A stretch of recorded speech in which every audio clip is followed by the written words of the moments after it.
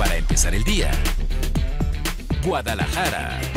Buenos días, viernes 23 de septiembre, tiempo de la información con Mega Noticias Guadalajara.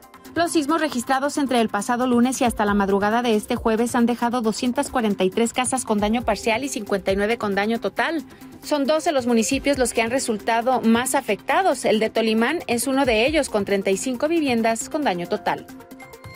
Los sismos registrados esta semana han dejado 13 fincas afectadas en el municipio de Amacueca, además de dos templos y daños menores en el ayuntamiento. La alcaldesa Elvira Durán detalló que de las 13 viviendas, cuatro sufrieron daños estructurales y solo en una de ellas fueron evacuados los moradores.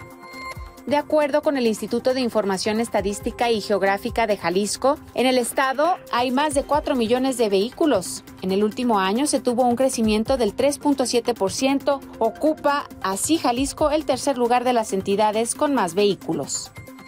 A un año y dos meses de la desaparición de Luis Enrique Ramírez Alvarado, de 33 años, no hay ni una sola pista de su paradero, asegura su familia. El joven salió a trabajar y nunca llegó a su destino ni a su casa. En cuanto a las autoridades, la familia lamenta que han retirado algunos carteles que las familias han colocado para seguir con las búsquedas, lo que una vez más invisibiliza la desaparición y a las mismas familias. Síganos en redes sociales como Meganoticias GDL y toda la información en meganoticias.mx. Para empezar el día. Guadalajara.